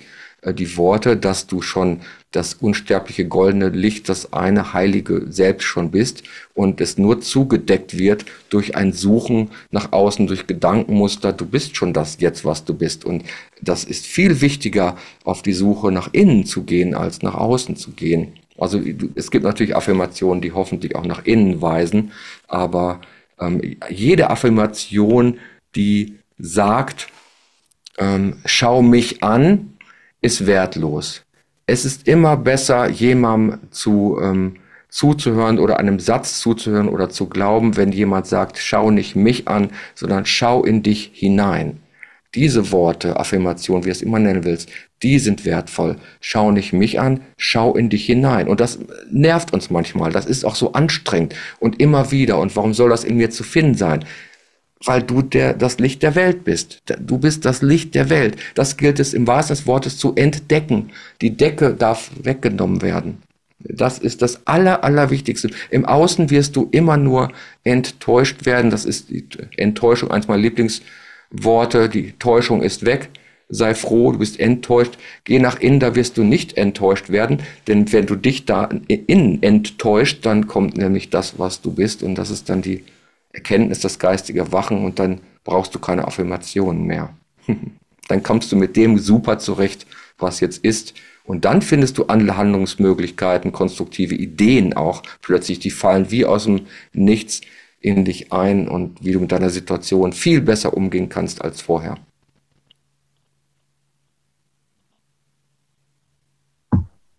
Angela schreibt, Spiritualität und Wissenschaft nähern sich ja immer mehr an. Genau. Kann, man, kann man das Sein mit dem Begriff Higgs-Feld in der Quantenphysik vergleichen bzw. gleichsetzen? Hex, war das Hexfeld akustisch? War das Hexfeld oder X-Feld? Äh, Higgsfeld. Ja, das ist ähm, gut. Die, die Begrifflichkeiten der Quantenphysik, also ich liebe diese Frage, das finde ich ganz toll. Ähm, da weise ich auch immer wieder darauf hin, dass äh, gerade die Quantenphysik, der Erkenntnisse der Quantenphysik mit der Spiritualität äh, immer mehr so konvergieren. Und ähm, ja, da würde ich jetzt keinen Begriff draufkleben. Also ich bin ja ein spiritueller Lehrer und kein, äh, kein Quantenphysiker. Aber im Grunde ist es das, wenn du das einheitliche Feld meinst mit dem Begriff X-Feld, ich habe noch andere Begriffe im Kopf, das ist aber wurscht, äh, dann ähm, könnte man das so sagen, wobei wir aber auch da wieder achtsam sein dürfen, weil dann haben wir schon wieder das, der Begriff eines Feldes eines Feldes im Kopf. Und äh, das darf dann auch nicht im Geiste flach sein oder so. Das ist dann, also es ist eher ein unendlicher Raum, würde ich sagen. Also und selbst das ist auch schon irreführend, weil das alles sofort menschliche Konzepte sind, die wir da draufkleben. Dennoch ist es super hilfreich, wenn jemand ein spiritueller Zweifler ist oder noch klar, wir sind ja auch als Mensch hier oder ein, ein wissenschaftlich orientierter Mensch ist oder analytisch, dann sage ich auch sehr oft, geh doch mal, wenn du wirklich hinterfragst oder befragst, gibt es Zeit oder nicht oder was die Realität und, und dann noch Zweifel hast, dann geh doch mal nach München-Garching, das ist das Quantenphysikalische Institut und sprich mal mit einer Quantenphysikerin oder einem Quantenphysiker und frag mal, was ist denn aus deiner Sicht das Wesen der Realität? Und du würdest staunen. Du würdest staunen, wie sehr das übereingeht äh, mit dem, was hier gesagt wird. Und da kann man sehen, dass die alten Geisteswissenschaften, die uralten Traditionen der, der Kontemplation, der Geisteswissenschaften, dieses Wissen schon ähm, anders, auf eine andere wissenschaftliche Art erforscht haben. Und jetzt kommen irgendwie die Menschen aus der anderen Profession von der anderen Seite sozusagen und bestätigen das, was ich total toll finde. Also finde ich super. Ja, das ist so.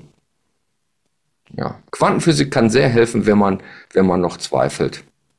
Und die höchsten, die, die besten, das ist auch schon ein bisschen der Werten, das macht jetzt auch nichts, äh, die, die hellsten Geister der Wissenschaft, egal welche, welche Fasson, die haben erkannt, dass alles ein einheitliches Feld ist, eine Einheit ist. Das, das können auch Physiker gewesen sein wie Einstein, Zeisenberg, Hans-Peter Dürr, diese ganzen Leute. Zeisenberg hat zum Beispiel gesagt, die Wissenschaft ist wie eine Tasse Kaffee. Wenn du sie austrinkst, triffst du am Ende auf Gott. Er hat natürlich jetzt absichtlich diesen Begriff Gott gemeint, äh, genommen, aber nicht den Mann mit dem Bart, sondern das, das Unbenennbare. Die hellsten Wissenschaftler, die wissen das schon und manche sagen das auch schon. Ich hatte jemand zu Gast bei mir im Seminar in Steierberg. Ich erzählte da was fröhlich über Quantenphysik, habe mich da voll auf Glatteis begeben und da saß jemand, der nickte immer ein bisschen und da habe ich schon geahnt, oh Gott, oh Gott, äh, hoffentlich erzählt sie hier kein Quatsch. Und dann hat er sich in der Pause tatsächlich auch als ein äh, Physiker von der Uni Würzburg, ein Physiker der Uni Würzburg, äh, zu erkennen gegeben und konnte mir ähm, versichern, dass das okay war. Und ähm, das war natürlich sehr beruhigend. Also ich freue mich über solche ähm, Aspekte. Ich freue mich, dass aus allen möglichen Professionen es immer äh, mehr Ansatzpunkte gibt und mehr, mehr Interesse gibt. Das erlebe ich tagtäglich. Ich freue mich darüber. Also super Frage. Danke für die Frage. Quantenphysik hilft. Florian schreibt, alles ist eins. Auch, das, auch der Unlebendige wie ein Stein. Kann man als ganz Erwachter alles fühlen, grenzenlos, also fühlen, wie ein anderer Mensch fühlt, wie es ist, ein Tier, Baum oder ein Stein zu sein? Das ist ähm, Jein. Jein bedeutet, manchmal scheint es so zu sich so anzufühlen, dass das gefühlt werden kann aber glücklicherweise nicht jederzeit, weil das äh, diesen Dirk hier beispielsweise, das kenne ich jetzt ja nicht, äh, sehr entmenschlichen würde. Also das wäre auch äh, kaum vom Nervensystem, wir haben ja auch ein gewisses Nervensystem mitgeliefert, ein, ein, ein neurologisches System, das wäre auch kaum zu erfassen alles wäre nicht zu erfassen. Aber dennoch gibt es in sanfter Manier, würde ich sagen, äh, fühlt sich das so an. Also ich, ich, ja, ihr wisst ja, was ich meine. Also das wird schon irgendwie in irgendeiner Weise gesehen oder gefühlt, dass alles zusammen zusammen ist, nicht gehört, also dass es schon eins ist und das fließt auch wie so eine liebevolle Energie, aber ich würde nicht sagen von, konkret von einem Stein hier hin und zurück, sondern das ist einfach, es ist ja eins. Da wird dann auch gar nicht mehr so getrennt. Das ist eben der Punkt, weil Trennung nicht mehr existiert äh, und auch nicht mehr so richtig gefühlt wird, kann ich, könnte ich gar nicht sagen, das fühl, ich fühle jetzt da mehr als dort, Wobei natürlich bei Menschen ist das nochmal viel stärker natürlich. Also da sehe ich schon wirklich, dass die gleiche Essenzen in den Menschen mehr als in einem Stein vielleicht. Aber im Grunde ist das alles wie ein, ein, ein fluktuierendes Feld der Einheit. Vielleicht mal in unterschiedlichen Stärken, je nach Tagesform auch.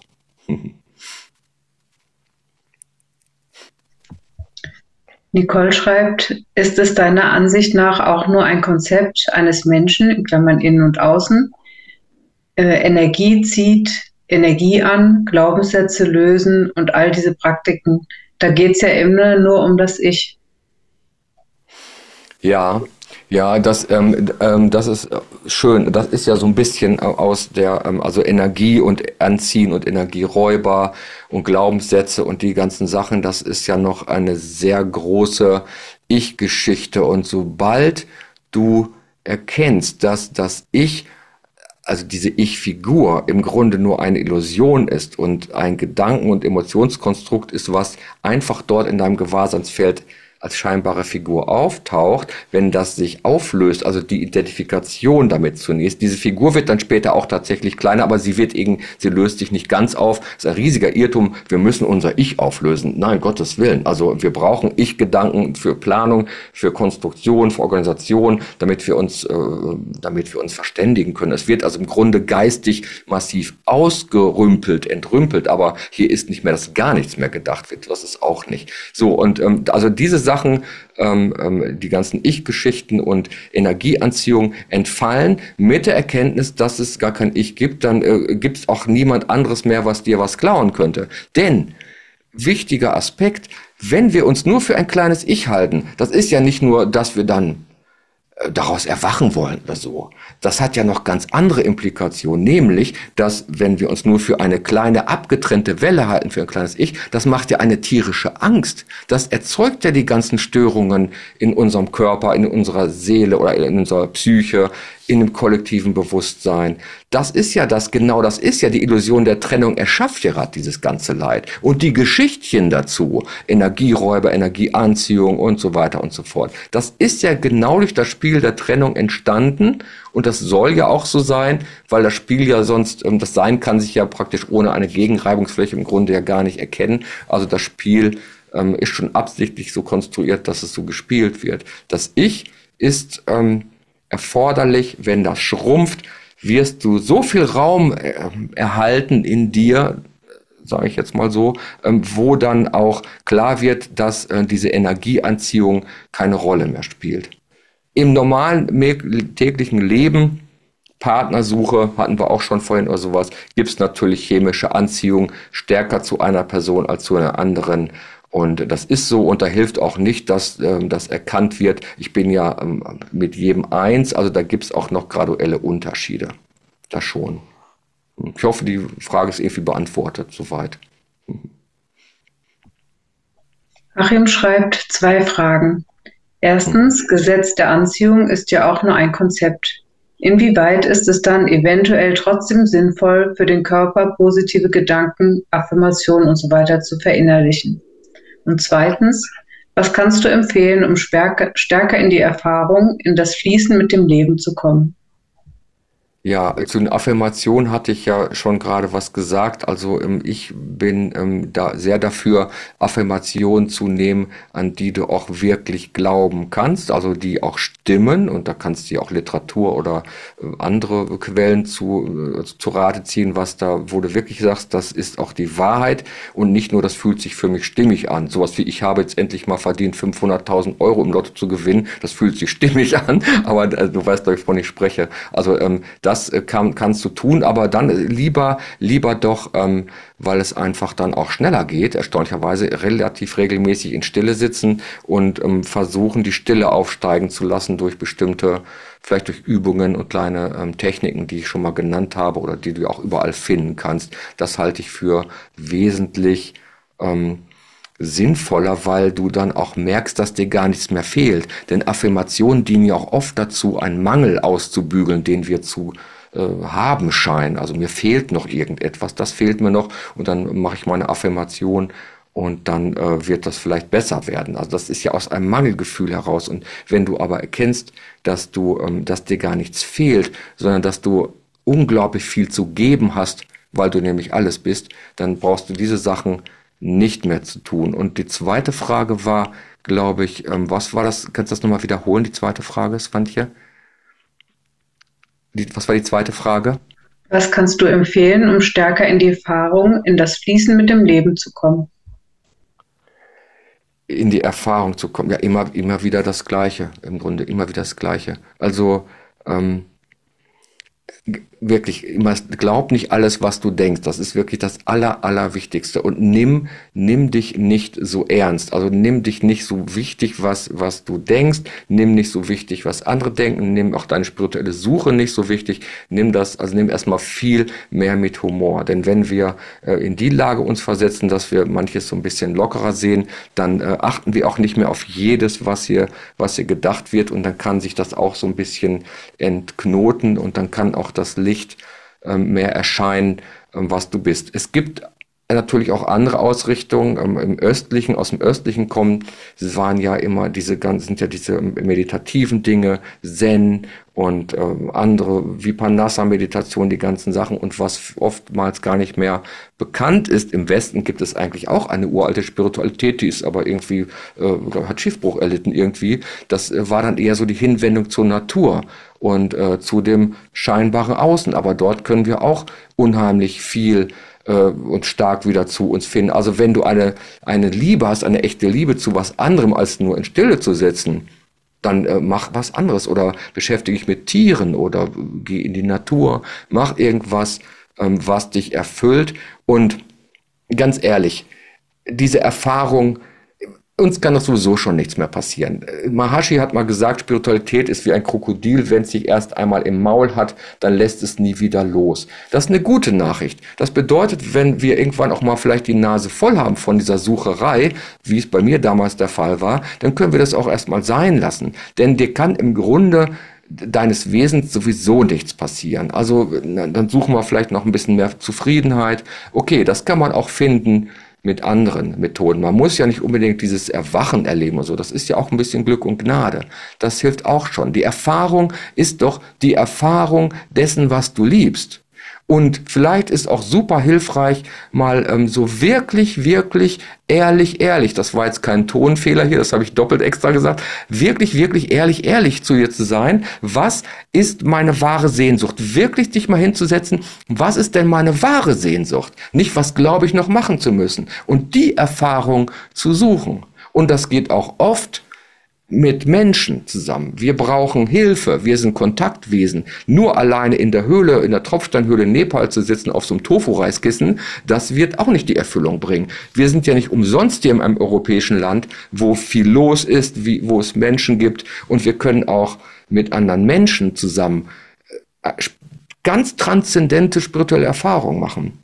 Also mit dem, was wir lieben. Musik, Malerei. Vielleicht war es so, ich kenne dich nicht, dass du früher was als Kind gern gemacht hast, das ist verblieben. Und man kann, was ist spiritueller, als sich auszudrücken, als das, was du jetzt schon bist? Ein Mensch. Das ist doch das. Was Heiligeres, was Spirituelleres gibt's doch nicht, als wenn du deine Freude strahlenden Augen in die Welt richtest und da sagen, was ist mit dir denn? Du siehst da so richtig glücklich aus. Das muss nicht an Erleuchtung liegen. Das kann einfach daran liegen, dass du endlich das tust, was du tun willst, was du wirklich tun willst. Das würde ich dir ans Herz legen. Weltlich sein wollen. Sandra schreibt, was ist für dich natürlich? Wie werden wir wieder natürlich? Wie können wir aus der Natürlichkeit heraus leben, ohne Anhaftung? Das ist eine, eine hehre, ein hehres Anliegen ohne Anhaftung. Ähm, das ist ein spirituelles Konzept, das ich dir gerne jetzt wegreißen möchte.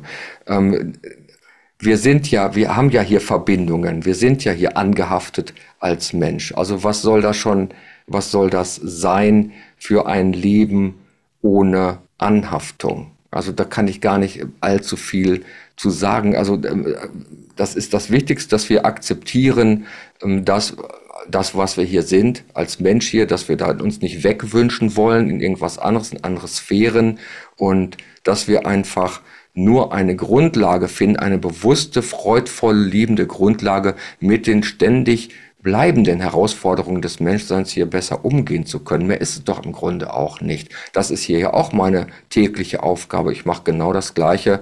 Wenn die Kamera hier abgeschaltet ist, dann erlischt auch diese Funktion hier und dann äh, mache ich auch weltliche Dinge. Ich tue vieles mit mehr Freude als vorher, das kann man schon sagen. Und ähm, Anhaftung ohne Anhaftung, das ist nur irgendwie ein Konzept, das im Grunde ähm, nicht existiert weil hier läuft das ja wie elektrischer Strom. Das Leben läuft im Grunde, verläuft im Grunde wie so zwischen zwei Polen, wie Strom. Zwischen diesen Polaritäten ähm, bewegt es sich hin und her. Also zu Minus gehört Plus, zu Yin gehört Yang. Und das sind auch Anhaftungen und Ablehnungen.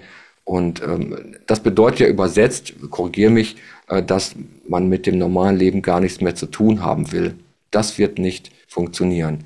Und Reaktionen des, des Wesens gibt es hier auch auf Situationen.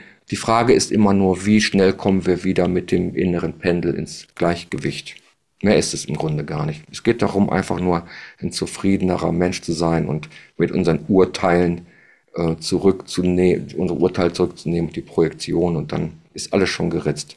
Denn was du hier heute Abend hörst, ähm, das kann auch eine gute Nachricht nie vergessen werden, denn das Sein, das du bist, vergisst nie etwas, was es gehört hat, auch wenn du glaubst dann als Mensch, ich habe alles vergessen, was du erzählt hat. Das erinnert sich also immer an sich selbst und ähm, das sollte dann eigentlich schon genügen. Lieber Dirk, wir sind bald am Ende des Live-Chats angekommen. Ich würde noch eine Frage vorlesen. Ja, gerne. Äh, Thomas schreibt, existiert für mich, also in meinem Bewusstseinsfeld, nur das, was jetzt wahrgenommen wird. Also zum Beispiel nicht meine Frau, wenn sie nicht da ist. Eine äh, wunderbare Frage. Ich frage eine Gegenfrage stelle ich dir und die dann bitte ich jetzt alle, die hier zuhören, das mal bitte geistig mitzumachen und ohne inneren Zensor, die ganz klar einfach hinsehen. Wo ist London jetzt in diesem Moment? Hm. Die Antwort ist ja wohl offensichtlich. London ist nicht da. Unwahrscheinlich, aber kaum zu glauben, aber wahr. Wenn wir den Fernseher anmachen und vielleicht gerade eine Doku über den Hyde Park ist, dann tauchen Bilder auf äh, von London. Aber was ist? Es ist ein Bildschirm, in dem Bilder auftauchen. Ich habe es gerade erklärt. Wo ist deine Frau? Es ist absurd. Sie ist, wenn sie nicht im Zimmer gerade ist, dann ist sie gerade nicht da kurioserweise oder genialerweise taucht sie mit einer, ex hoffentlich, es sei denn, die ist dir weggelaufen, mit einer extrem hohen Wahrscheinlichkeit wieder auf, wenn du die Tür aufmachst. Das ist, oder sonst, oder vielleicht ist ja verreist und kommt wieder. Wunderbar. Das ist ein unglaubliches Mysterium, wie das funktioniert. Und da kann man auch nicht viel drüber weiter sagen. Das wird bloß ganz klar gesehen, dass es so ist. Und auch das Wissen bitte ich dich, wie das mit der Zeit, halt das ein bisschen nur so als, als, ähm, als Auffangnetz im Hintergrund, äh, irgendwo im hintersten Gewahrseinstübchen, das reicht aus, äh, das dient nämlich dazu, dass wir dann nicht total mal, wenn es richtig mal hart auf hart kommt im Leben, das kann auch sein, ins Drama abrutschen oder wenn Todesfälle geschehen oder sonst was ist, dann das fängt uns wirklich auf, aber wir können es im täglichen eigentlich kaum gebrauchen. Aber wenn die Frau nicht da ist, ist sie tatsächlich weg. Frag einen Quantenphysiker, das hatten wir schon. Wo ist es? Wo, wo ist es dann? Da gibt es eine wunderbare Übung, die können wir heute nicht mehr machen, das wird zu lange dauern. um das zu erkennen, meine ich. Herzlichen Dank, Dirk, für, für diesen Live-Chat und das Beantworten unserer Fragen.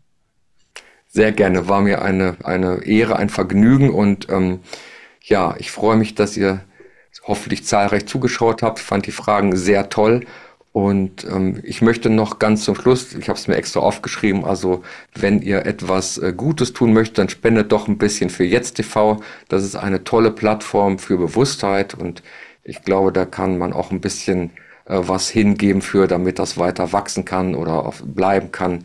Und ähm, da haben ja viele Leute einen riesigen Gewinn. Ich bedanke mich dafür, dass es dich gibt und ja, mehr kann ich dazu nicht sagen. Schönen Dank und alles ist das eine, es ist eine liebende Essenz. Das, was ich bin, das bist du auch und das sollte genügen. Schönen Dank. vielen, vielen Dank, lieber Dirk. Das war ganz schön. Okay. Gut, Danke, lieblich. Danke. Man sieht sich bestimmt irgendwo. In Schimming.